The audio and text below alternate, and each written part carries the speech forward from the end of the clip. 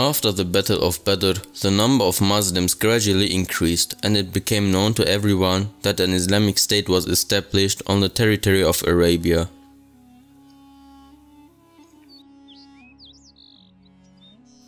The Prophet told Muslims about the martyrdom. He heralded to Muslims that martyrdom in the way of Allah is the highest authority after prophethood, that all sins of the martyr are forgiven except for the rights of servants, and that the suffering of death of a martyr will be as much as the bite of an ant. This was a great blessing from Allah to the believers. Every Muslim longed to be a martyr in the cause of Allah.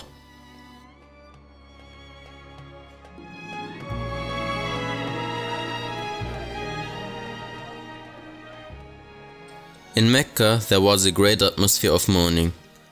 Almost everyone in Mecca lost a relative in the Battle of Badr. The polytheists of Mecca were filled with the grudge of avenging Badr. As a result, not long after, the surrounding Arabs were asked for help and an army of 3000 polytheists with their hearts on fire of revenge was prepared. Abbas, the uncle of the Prophet, who was in Mecca at the time, wrote the preparation made in Mecca in a letter and sent it to Medina to warn the Muslims.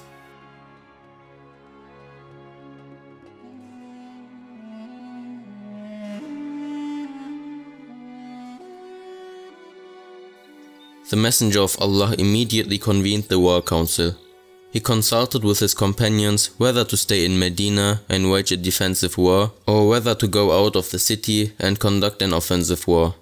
Although the Prophet was in favor of staying in Medina and making a war of defense, in the end it was decided to go out of the city and conduct an offensive war in accordance with the decision of the majority.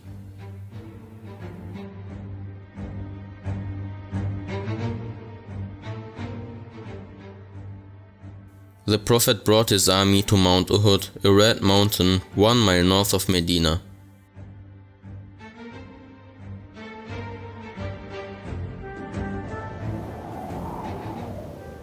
The Prophet had given the banner to Musab bin Umair, the cavalry command to Zubair bin Awam, and the army command to Hazrat Hamza.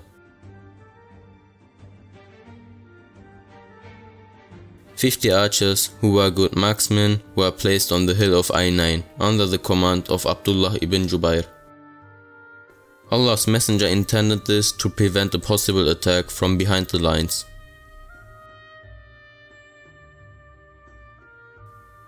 He gave the following precise order to the archers. You are going to keep our backs, whether the enemy is victorious or defeated. Never leave your places unless you hear from me.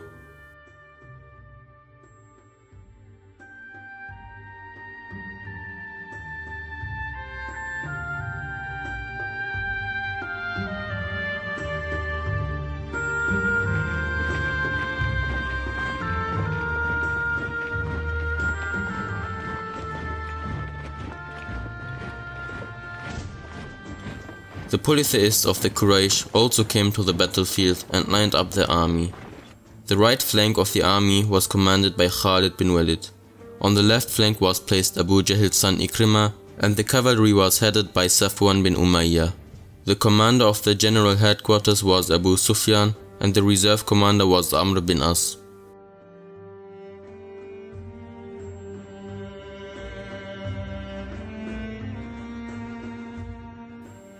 The Prophet ﷺ addressed his army and said, O people, undoubtedly jihad is difficult to commit. The trouble of war is tough. There are few people who are patient with the jihad, except those whom Allah has led to the right path. There is no doubt that Allah is with those who obey Him. Do not depart from what Allah has commanded you. Know that controversy, argument and discouragement are things that Allah doesn't like because of weakness. Those who are in this situation are not given victory.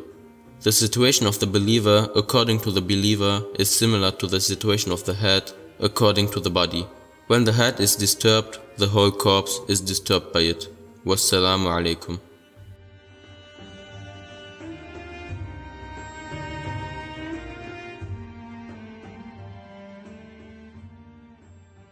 Since the polytheists were hurting so much in Badr, they rushed to the army of Islam with hatred and the desire to take revenge as soon as possible.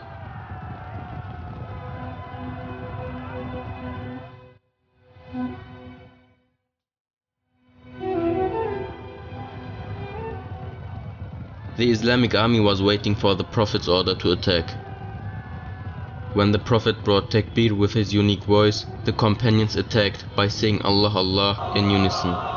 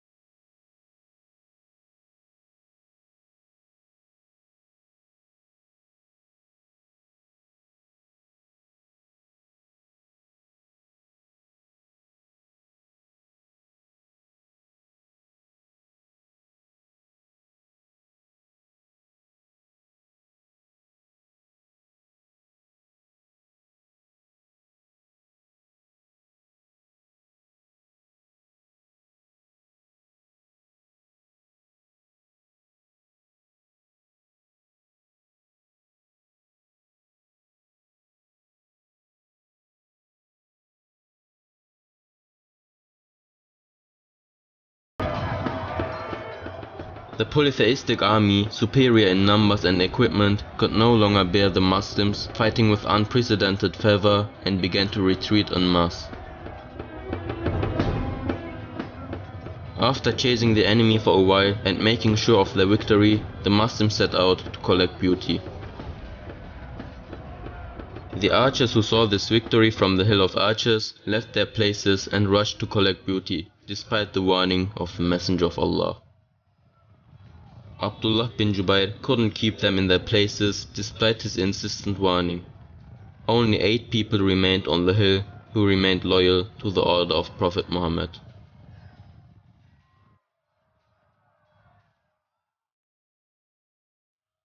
Whatever happened, happened after that. Khalid bin Walid, one of the enemy's vigilant commanders, had his eye on the archers. When he saw the archers leave their positions, he seized the opportunity he had been waiting for. With the cavalry unit under his command, they immediately went around behind the hill where the archers were located and launched a fierce attack from behind the Muslims who were collecting booty.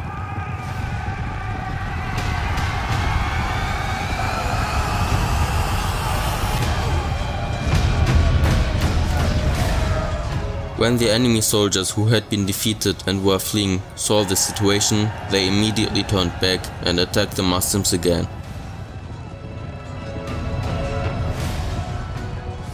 The Islamic army was caught between two fires.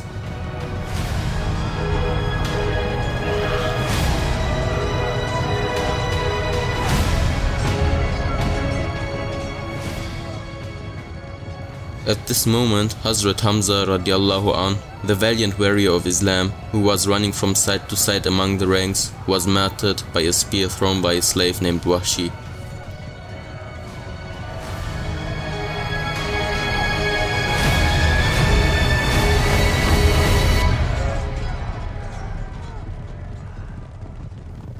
Wahshi, who was a slave, did this in order to attain the freedom promised to him by Abu Sufyan's wife Hind. The martyrdom of Hazrat Hamza caused an atmosphere of mourning in the Muslim ranks. The already mixed ranks have deteriorated.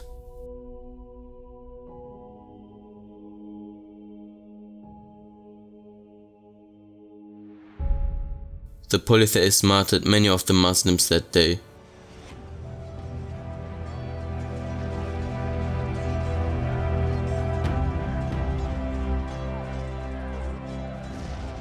A group of polytheists even attacked the Messenger of Allah directly. The believers jumped in front of the arrows, fired at the Prophet and shielded his body to protect him. In the meantime, Utbah, one of the polytheists, threw a large stone at the Prophet. This stone hit the Prophet in the face. the Prophet's helmet split his cheek and broke a tooth. At that moment, the earth and the sky trembled.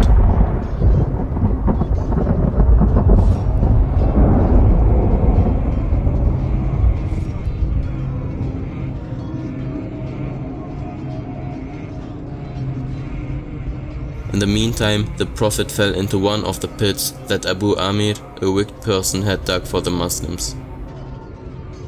At that time, the polytheists thought that the Prophet was dead and made the fuss that Muhammad had been killed. The polytheists were overwhelmed by their joy.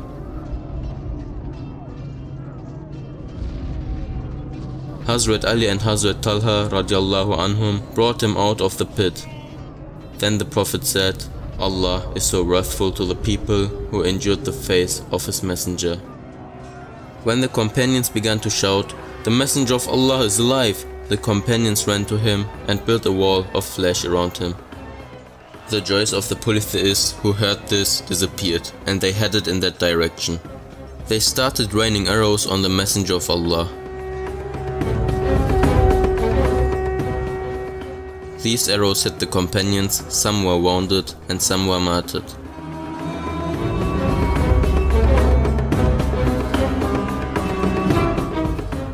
Saad bin Abi Waqqas was killing the polytheist who approached with arrows. The Prophet gave an arrow to him and said, Shoot, O Saad, shoot, may my parents be sacrificed to you.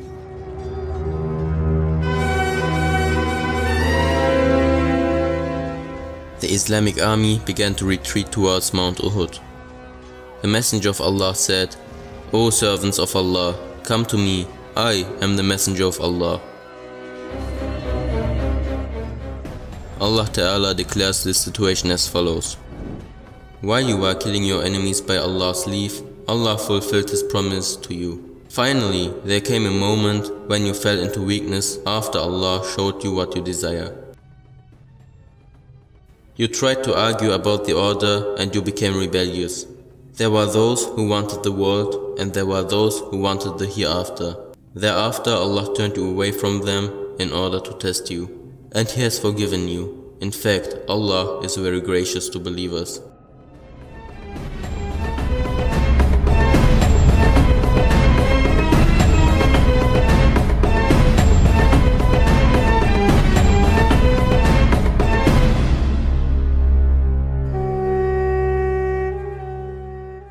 On that terrible day, despite everything, the Messenger of Allah never left his place like a pole star and resisted with great skill.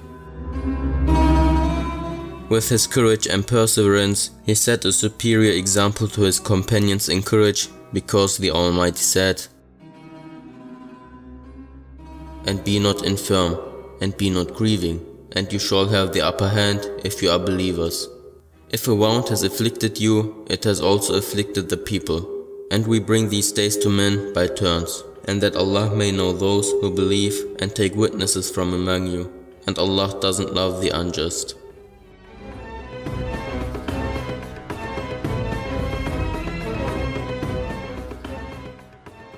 The polytheists were now becoming ineffective against the Muslims.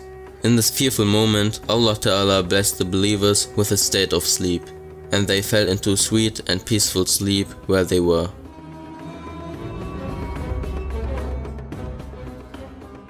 The polytheists were frightened and began to return. One of the miracles given to the Prophet was that he instilled fear in the hearts of the enemy even from a distance.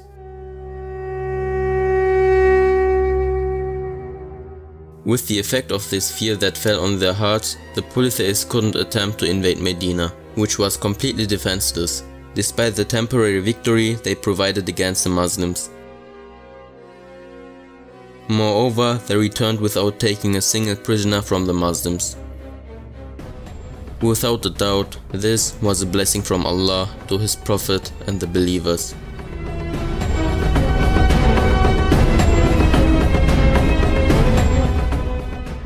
On that day, 70 companions were martyred in Uhud.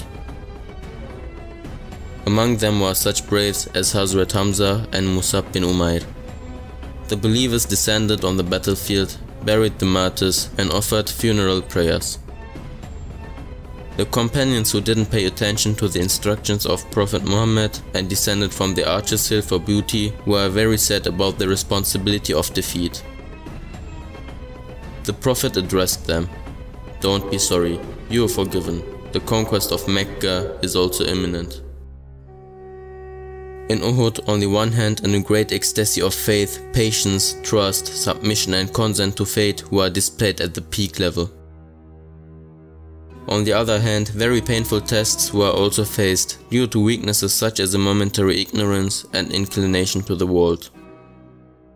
The negligence shown in carrying out the command of Allah's messenger changed the course of the war in an instant and caused the victory to be delayed.